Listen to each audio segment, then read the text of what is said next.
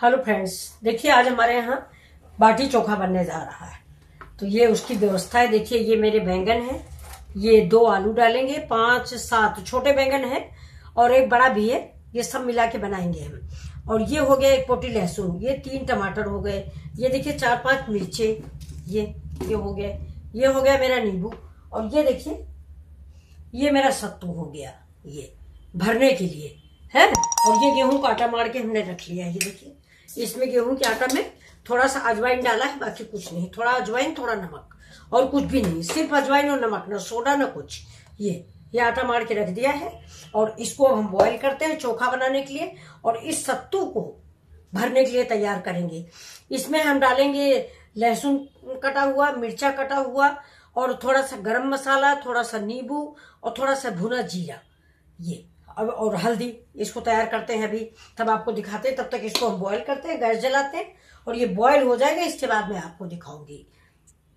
Hello दोस्तों, ये देखिए, ये इसमें मैंने चोखा के लिए देखिए, प्याज काट लिया है, हरा मिर्चा है और हरी धनिया है और ढेर सा लहसुन है। देखिए बारीक बारीक सा प्याज है ये और ये हरी धनिया है है और इसी में लहसुन है और अदरक है। अदरक, लहसुन, प्याज, हरी धनिया। ये चोखा के लिए तैयार हो गया है। ये देखिए, मेरा चोखा भी गर्म है। अभी मैंने मिक्स नहीं किया। ये देखिए, ये टमाटर छील लिया है मैंने और ये बैंगन छील लिया है। आलू अभी गर्म है तो अलग रखा हुआ है। ये ज़्यादा गर्म है, इसलिए हम इसको मिक्स नहीं कर पा रहे हैं। थोड़ा ठंडा हो जाता है, फिर इसको हम मिक्स करते हैं। तो ये चोखा बन जाएगी। ये सारा आइटम इसमें हम डाल देंगे और इसमें एक आलू डालेंगे। तो देखिए, ये मेरा तैयार हो गया, ठंडा हो जाता है। अच्छा अभी आप देखिए इधर मेरा, ये देखिए ये देखिए, ये भरने वाला सत्तू, ये देखिए। ये, इसमें थोड़ा सा नींबू डाल दिया है और इसका नमक हम्म नमक बहुत टेस्टी है। ये देखिए। ये कितना बढ़िया बन के तैयार हुआ। इसमें बाद में जब पूरा ये बन जाता है तो इसमें एक चम्मच मस्टर्ड ऑयल ज़रूर डालें। तेल की ही इसमें स्वाद अच्छा लगता है। चोखा में भी तेल पड़ेगा, दो चम्मच। कच्चा तेल बिल्कुल गर्म नहीं डालते हम लोग। आप लोग कैसा डालते हैं बताइएगा। ये देखिए मेरा कितना टेस्टी तैयार हुआ ये। जैसे लग रहा है बेसन वाला लड्डू बनता है, बिल्कुल वैसा हुआ है। ये सत्तू असल में मार्केट का है, बहुत महीन है। और अगर आपके देखिए, मान लीजिए आपको सत्तू नहीं मिलता है तो चना भून लीजिए। भून लीजिए और भून के उसको मिक्सी में पीस लीजिए। और मोयन मतलब मस्टर्ड ऑयल इसमें इतना डालिए कि ये देखिए, ये लड्डू बन जाए। ये देखिए। जी, इतना तेल डालिए, इसकी ये पहचान है। इससे ज़्यादा तेल मत डालिएगा। ये देखिए, मेरा लड्डू बन गया। तो जब लड्डू बन जाए तो समझ लीजिए आपका तेल परफेक्ट है। है और इसमें देखिए, सारे मसाले पड़ गए। लहसुन लहसुन कितनी अच्छी महक आ रही है कि क्या बताऊँ मैं? आप लोग बहुत दूर हो। चलिए तो अब हम बाटी की स्टार्टिंग करते हैं। ये देखिए, ये बाटी के लिए हम देखिए, ऐसे ही छोटे छोटे काट के बराबर एक साइज़ के रख लेंगे। ये देखिए, अब इसको ऐसे ऐसे हम करेंगे, गोल बनाएँगे और इसके बाद कटोरी स्टाइल इसको कटोरी बना देंगे। तो असल में हम लोग हमेशा कंडे पे बनाते हैं, लेकिन इधर चार छह दिनों से बारिश बहुत हो रही है। तो जो बाज़ार में कंडा लेने मैंने भेजा था तो कंडे गीले हैं। तो आप देखिए हम कैसे बनाते हैं, अगर बन जाता है कुकर में या किसी चीज़ में तो ठीक है, नहीं तो फिर मैं इसका पराठा बना दूँगी। इसके पराठे भी बहुत अच्छे जौनपुर साइड पराठा ही बनता है। जैसे हम लोग दाल भरे बनाते हैं, वैसे वो लोग सत्तू भरे बनाते हैं और इसी चोखा से खाते हैं। ये देखिए। इसको ऐसे दबा दिया, इसको गोल रोक दे दिया। ये देखिए। तो ऐसे ही हम सब बनाते हैं। तो देखिए दोस्तों, ये मेरा अभी रखा हुआ है। अब हम जा रहे हैं, ये देखिए आपम मेकर इसमें सोचते सोचते बना के देखते हैं। देखते दोस्तों कभी बनाया नहीं इसमें लेकिन आज बना के देख रहे हैं। तो इसको पहले ग्रीस कर लेते हैं। इसकी ग्रीसिंग कर लेते हैं। इसके बाद इसमें आज बना के देखते हैं। हमने एक बार कुकर में बनाया था और एक बार कढ़ाई में बनाया था। ये देखिए। लेकिन हमारे घर में हमारे बच्चों को सब ज़्यादा कंडे वाले पसंद आते हैं। कंडे की आँच वाला ओरिजिनल बाटी वही है। ये देखिए। देखिए। ये ऐसे हम रख देंगे। बारह है इसमें। अब आप पहली बार इसमें बना रहे हैं। अगर ये मेरी योजना सक्सेस है तो आप सब लोग ऐसे ही बनाया करिए। बहुत जल्दी बन जाएँगे। ये देखिए।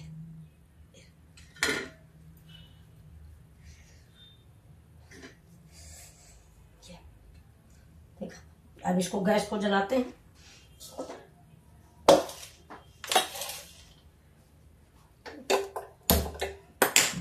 देखिए बस थोड़ा स्लो रखेंगे, ज़्यादा तेज नहीं रखेंगे, और इसको हम पाँच मिनट में पलट के देख लेते हैं।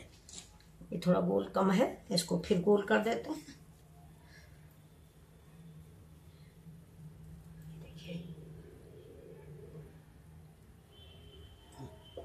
इसे ढक देते हैं, पाँच मिनट इसको देखते हैं। देखिए दोस्तों, इसको हम ऐसे उलटते पलटते रहेंगे, नहीं तो एक तरफ़ जल जाएगा। ये देखिए, है ना? ये। एक तरफ़ जलने ना पाए, इसको हम पलटते रहें। हो सकता है कि बन जाए। बन जाए तो मेरा आगे के लिए रास्ता खुल जाएगा। अब मैं हमेशा फिर ऐसे ही बनाऊँगी।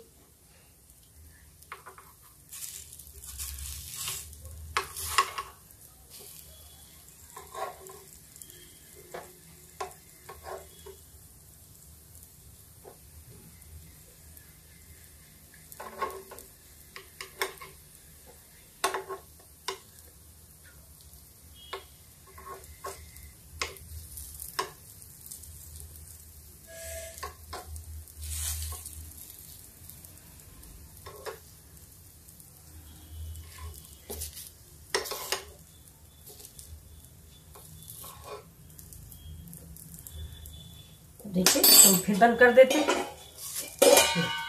और इसको धीमी आँच पे इधर रख देते हैं। देखिए, इस तरफ़ और इस पे रखते हैं तवा। मैं आपको दिखाती हूँ। ये देखिए।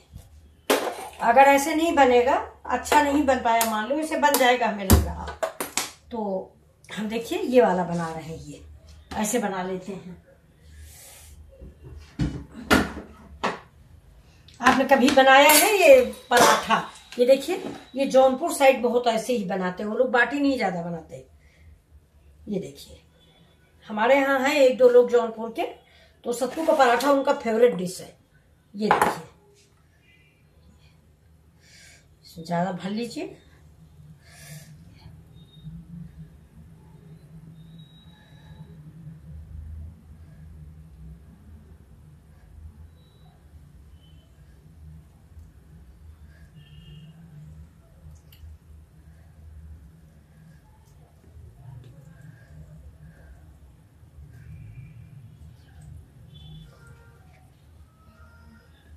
अब इसको देखिए, हम हल्के हाथों से, हल्के हाथों से बेलेंगे क्योंकि भरा हुआ है।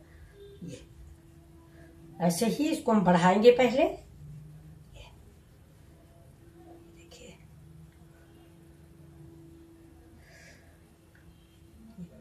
ये देखिए, इतना बड़ा हो गया। अब इसको हम हल्के हाथ से।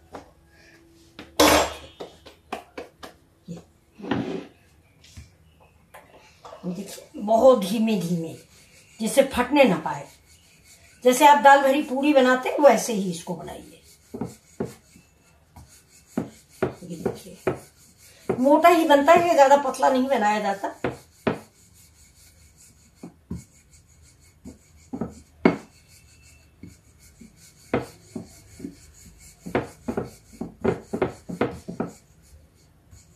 ये देखिए ये देखिए बन गया। देखा? ऐसे डाल देते इसको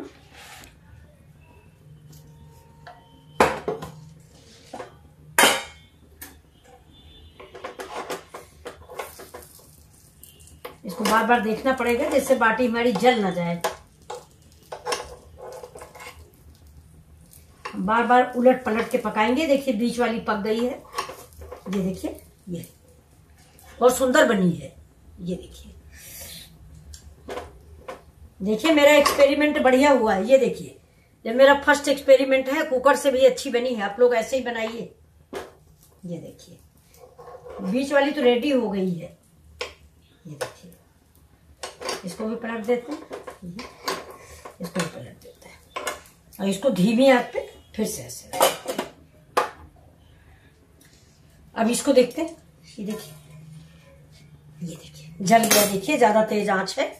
स्लो से पकाना चाहिए। नहीं, फूल जाता अभी खूब बढ़िया सा। ये देखिए।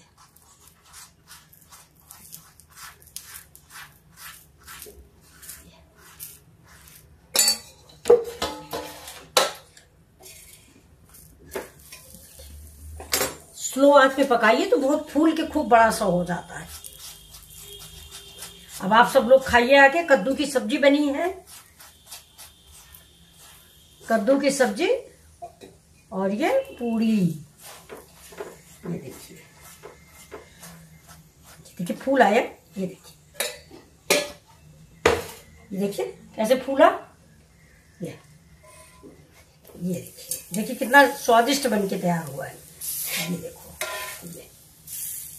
कैसा लगा आपको? देखिए। बनाइए आप भी तुरंत। ये देखिए। या हमारे यहाँ आइए ये देखिए। इसको घी से खाएँ, किसी चीज़ से खाएँ। अच्छा एक बात और भी है। अगर आपको तेल नहीं लगाना है, मान लीजिए तेल नहीं खाते हो बहुत लोग, हम लोग भी नहीं खाते तेल तो इसको रोटी जैसा बना लीजिए। हम लोग भी तेल नहीं खाते जाता ये आपको दिखाने के लिए बना लिया है, नहीं तो तेल नहीं खाते हैं।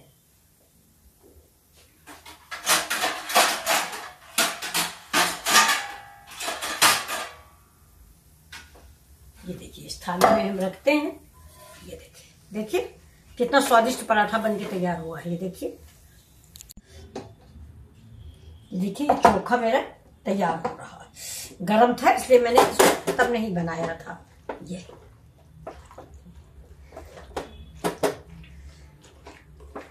बहुत ही स्वादिष्ट चोखा है। आप सब लोग को कैसा लग रहा है देखिए,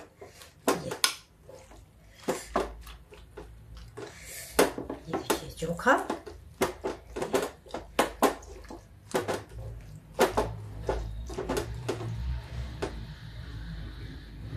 मैसर से मैस कर लीजिए। मिक्सी से नहीं पीसी। ये देखिए, ये खड़ा खड़ा अच्छा लगता है। तो देखिए, हम सब पूरे में नमक नहीं मिलाएँगे। जितना खाना है, उतने में नमक मिलाना है, क्योंकि अभी खाने वाले लोग हैं नहीं। तो जैसे अभी खाना है, मान लीजिए चीखना है किसी को तो थोड़ा सा ये ले लीजिए, जरा सा बिल्कुल, जितना उनको खाना है। इसमें रख लिया मैंने, और इसमें हम मिला लेंगे नमक। देखिए, इसमें थोड़ा सा नमक डाल दिया मैंने। क्योंकि थोड़ा ही देख, खाना है उनको। देखिए, देखा? देखिए दोस्तों, इसमें थोड़ा सा कच्चा तेल डाल देते हैं। थोड़ा सा। बाकी अभी उसमें डालना है, जब खाया जाएगा तब। अभी उसको हम ढक के रख देते हैं। तो ये चोखा है। ये देखिए, ये मिक्स हो गया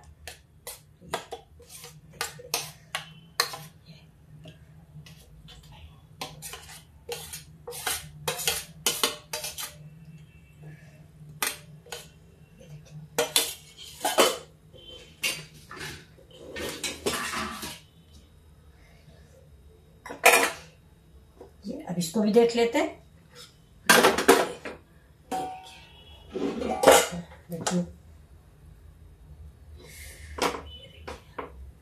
ये भी बन गई है हमारी। बहुत अच्छी बन के तैयार हुई है। अब देखिए, हम इसको दिखा रहे हैं। आपको ये थाली अलग रखते हैं। और ये गैस जो है बंद हो गई है।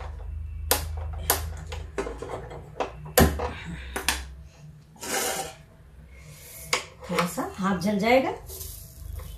इसको थोड़ा सा इसको ऐसे धीमे से। ये देखिए।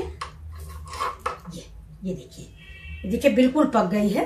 ये, है थोड़ा सा और खड़ी कर देते हैं इसको। ये ये साइड में ऐसे ऐसे करके। ऐसे पक जाएगी। देखिए, सारी की सारी पक गई हैं।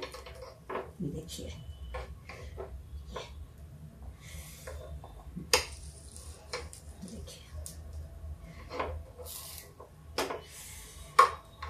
बाटी की पहचान होती है। अगर ये क्रैक हो रही है तो समझ लीजिए कि आपकी बाटी बन गई। इसकी पहचान होती है। देखिए बस पाँच मिनट और रखते हैं, फिर आपको दिखा देते हैं। पाँच मिनट बाद आपको सब करके दिखाते हैं।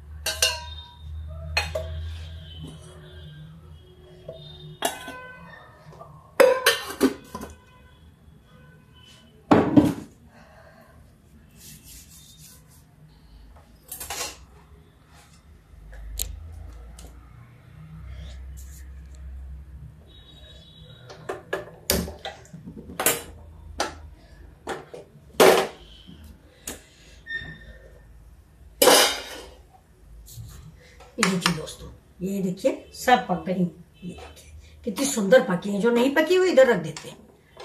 ये देखिए, सारी की सारी पक गई हैं। मेरा एक्सपेरिमेंट बहुत अच्छा रहा है। आप सब लोग आइए, खाइए। ये देखिए अब इसको थोड़ा सा हम ढक देते हैं। ये वाली दो चार रह गई ये इधर से पक जाएँगी।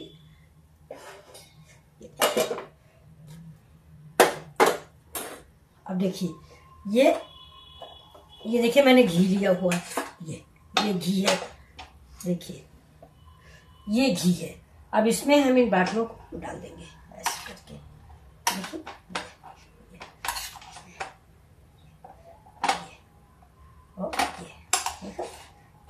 सब बाटियाँ घी में पड़ जाएँगी